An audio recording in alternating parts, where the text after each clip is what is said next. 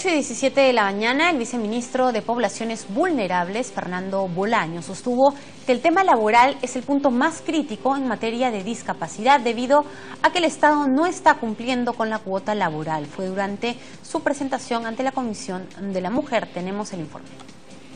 Fernando Bolaños explicó, entre otros temas, el rol del CONADIS en materia de discapacidad como ente rector, resultados efectivos del modelo de gestión Soy Capaz y estadísticas de beneficiados en el marco de los programas presupuestales realizados por CONADIS a nivel nacional. En cuanto a la cuota laboral, que según la ley es de un 5% en el sector público y su cumplimiento es de carácter obligatorio, Bolaño reveló que dicha cuota no se está cumpliendo, uno de los principales obstáculos para ello sería la falta de estudios en ese segmento de la población. El 11% de las eh, personas eh, con discapacidad tienen estudios superiores. Solamente el 0.2% de las personas con discapacidad tienen algún grado de maestría o doctorado.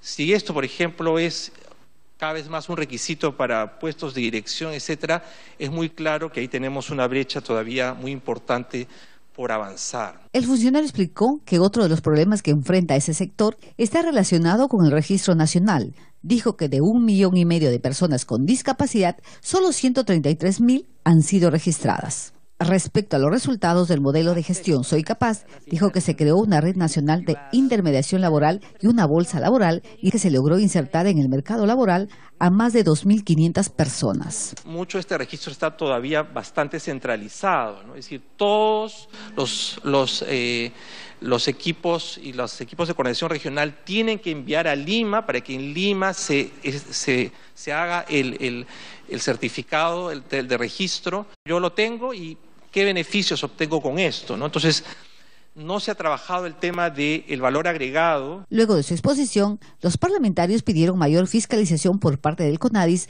para el cumplimiento de la norma y la aplicación sancionadora. En el tema de la entrega de los carnet con discapacidad, se estarían eh, sometiendo a muchos manoseos en algunas regiones sería necesario que eh, se haga una investigación a nivel de su entidad, porque de ser así eh, estaríamos aprovechándonos de los hermanos discapacitados. Informó Pilma Mondragón, Central de Noticias del Congreso.